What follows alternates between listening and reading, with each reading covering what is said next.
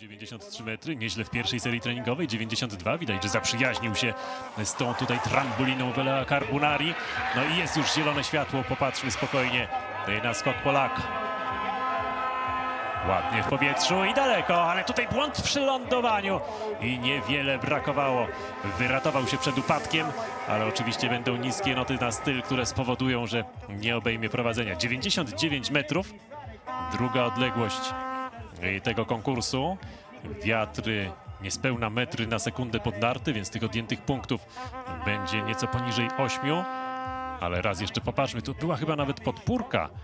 Stąd te noty od sędziów 15, 15,5 punktu. No najważniejsze, że nic się nie stało. Że...